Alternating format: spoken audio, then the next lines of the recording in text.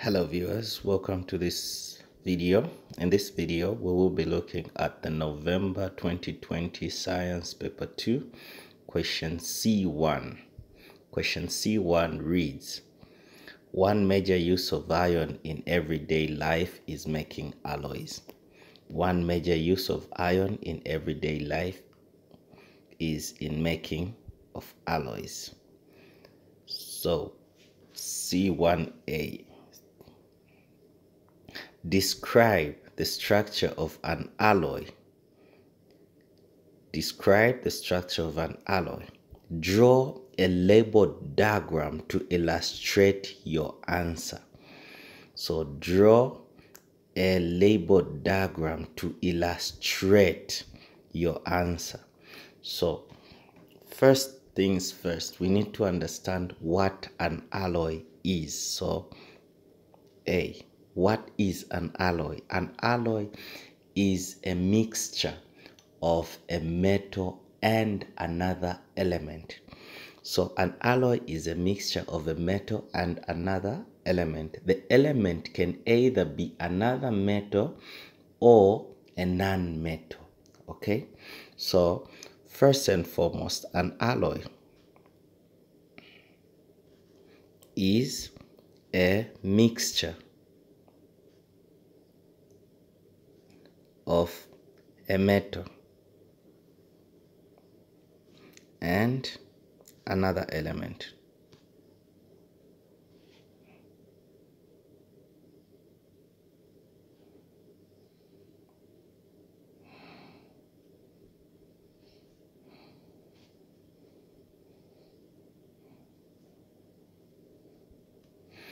All right.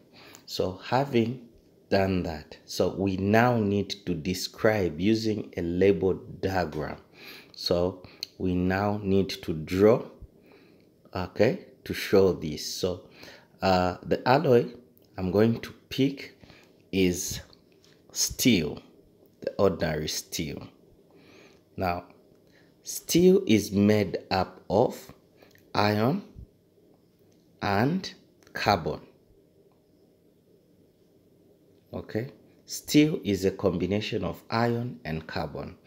All right now what is there is that uh, in our iron we will only add a small amount of carbon in our in our uh, iron. We will only add a small amount of uh, carbon. Now in doing this what it is going to look like will be like this. So we are going to have our carbon there our ion sorry our ion like that okay?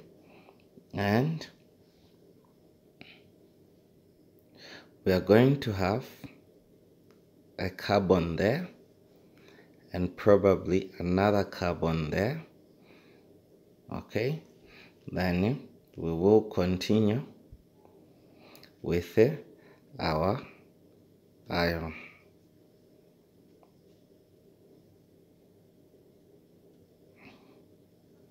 Okay so we will have our iron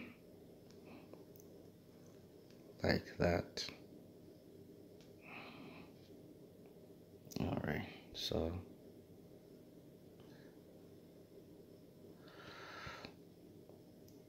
so we will have iron like that. So this is basically how uh, an alloy looks like. So in this we actually have this okay? And we have uh,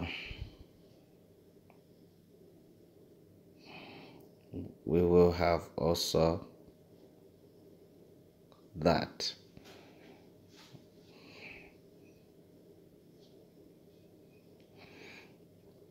so this is iron okay and this is carbon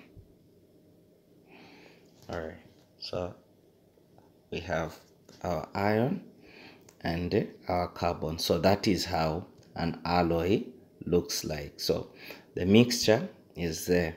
Now, uh, there are other things that may come. Okay, there are other things that may come. There are other questions that may be asked on alloys. For example, uh, when we look at uh, when we look at the properties uh, of these alloys, okay, and how they compare to uh, a metal which is which which they've not added anything. Uh, they will talk about strength. Okay, how does the strength of the metal change? Now, um, if we had a pure metal, okay, if we had a pure metal, we would have uh, something like this. Uh, we would have these are the metal ion, which are mostly arranged in a regular pattern. Okay, they are arranged in a regular pattern.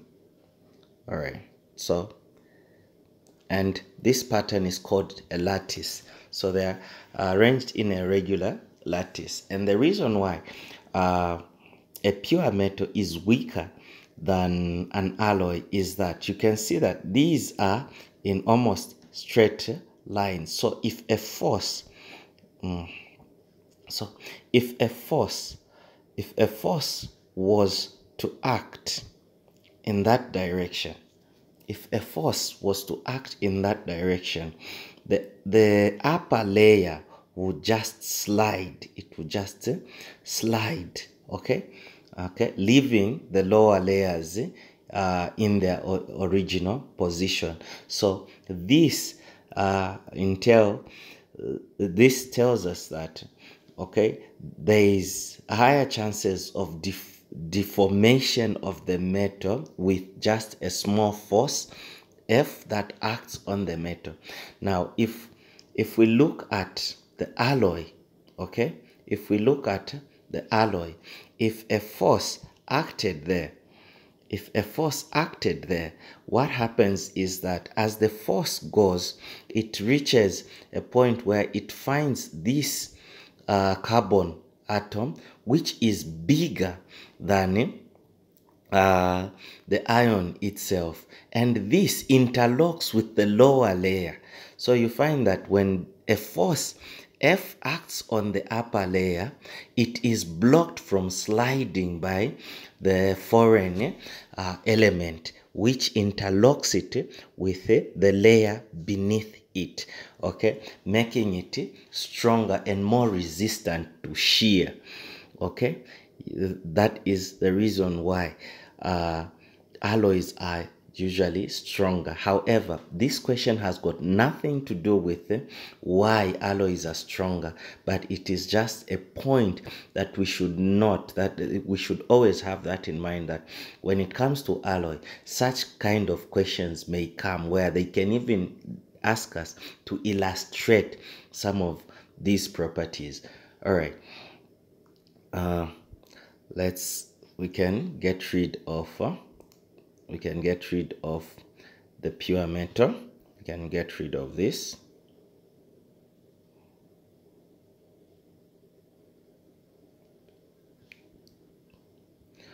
All right. Uh, it has refused to go so we continue. We'll just continue all right we'll just continue it still wants to stay all right so we go to b so we go to b b is saying that uh, give two reasons why iron is alloyed. Give two reasons why iron is alloyed. Here, there are two major reasons why uh, metals are alloyed. And the first one is that uh, to increase, to increase the strength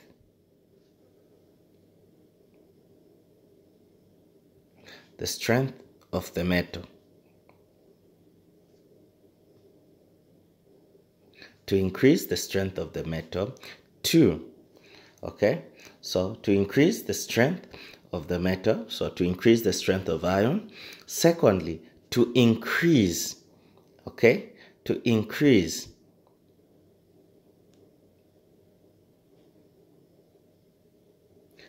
to increase the resistance to increase the resistance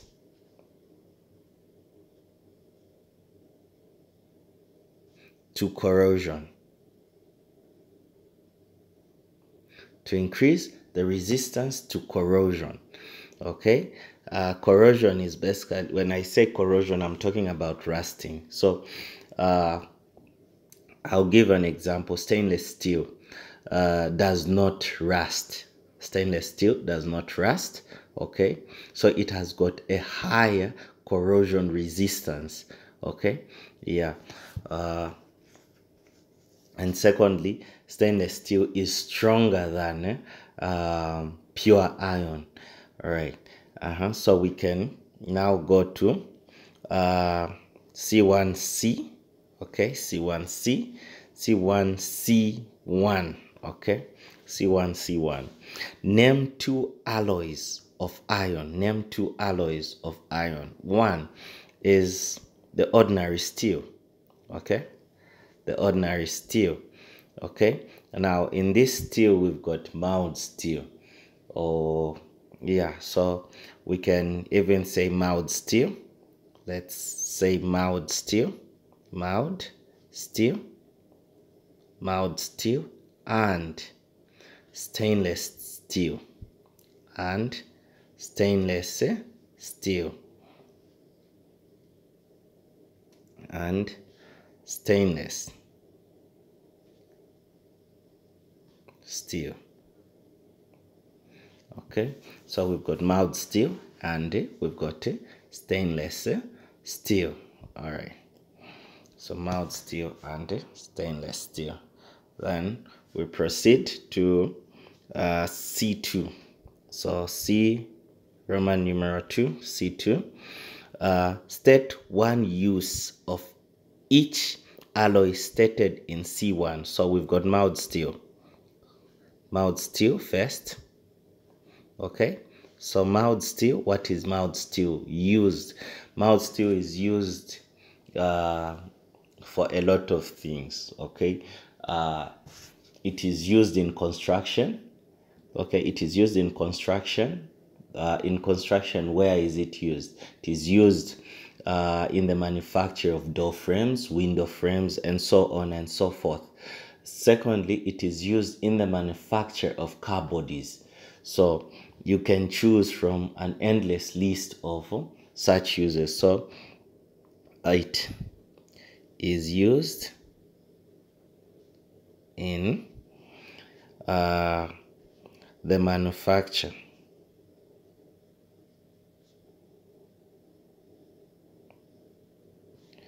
of car bodies okay that's for mild steel. Uh, uh, second is stainless steel. Stainless steel. Okay stainless steel.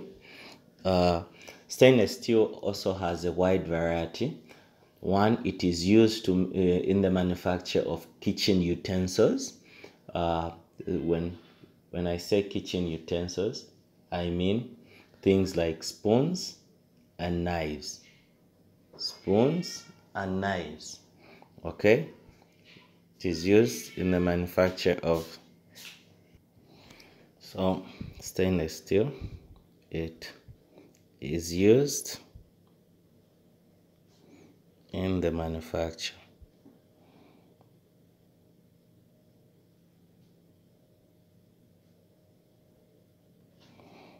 of kitchen utensils.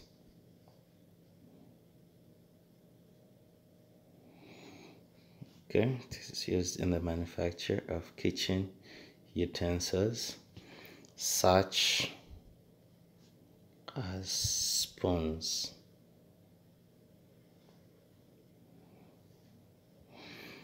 All right uh, viewers, this brings us to uh, question D. This brings us to question D. Okay. D. Give one use of iron other than making alloys. Give one use of iron other than making alloys. So, uh, other than all these alloys and whatever, what is the use of iron? Uh, what comes out uh, the most in this question is okay other than all the things we've talked about where else can we use iron? Remember we've done a lot of things in our syllabus in our course in our science course especially the chemistry part. Remember we also looked at a very important process uh, uh, an industrial process called the Haber process. And in the Haber process we actually talked of using iron as a catalyst. And iron itself being a transition element it is it has got catalytic properties. So we can take advantage of that and actually state it as a use other than uh, uh, in the use of it as uh, maybe um, general metal uses like eh, the structure taking advantage of the structural strength of iron and so on and so forth. So here the simple answer is that it is used as a catalyst. It is used as a catalyst. It is used as a catalyst in the Haber process.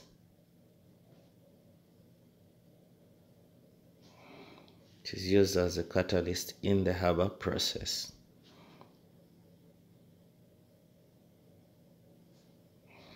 So that brings us to the end of this video. Uh, if you like the video, please don't forget to give it a thumbs up. And if you're new, don't forget to subscribe. Thank you very much.